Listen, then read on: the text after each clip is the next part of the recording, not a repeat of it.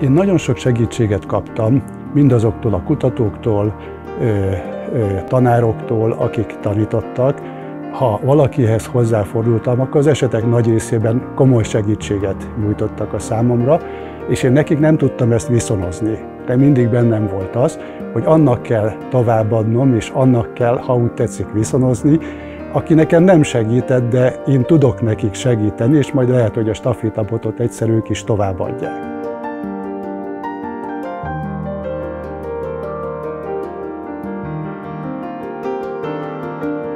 Én mindig geográfus, kutatógeográfus szerettem volna lenni. Az egyetemen töltött 35 évből, főleg az utolsó 15 év volt nagyon termékeny, és itt olyan légkör volt, ahol a kutatás az középponti kérdés volt, nagyon fontos volt, és olyan témákat próbáltam mindig keresni, a Kárpát-medencében is, tulajdonképpen azon kívül is, ami motiválja a hallgatókat, és mindig valami érdekes témával, amit én is szívesen kutattam, vagy amit én is szívesen folytattam. Ilyen témákkal bombáztam meg, ilyen témákat ajánlottam föl a hallgatók számára.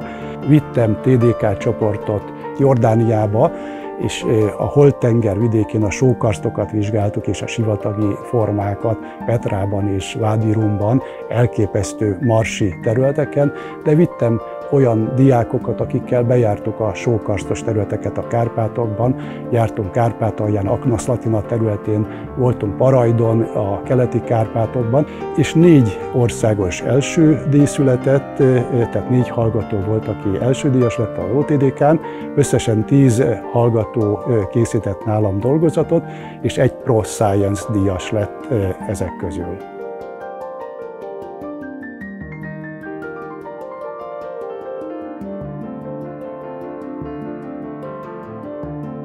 Én most elsősorban a szakmai dolgokról beszéltem, hogy ez milyen hasznos és milyen eredményes lehet egy hallgató fejlődése szempontjából, és arról nem esett szó, hogy milyen jó dolog együtt lenni hallgatókkal, hallgatóknak egymással, egy ilyen párnapos, akár egy-két hetes időtartamú terepi kutatáson, ami közelebb hozza őket mindenképpen, és emlékezetessé teszi a az ő életükben. Biztos vagyok benne, hogy később is szívesen visszaemlékeznek erre, legalábbis ilyen visszajelzések érkeztek hozzám.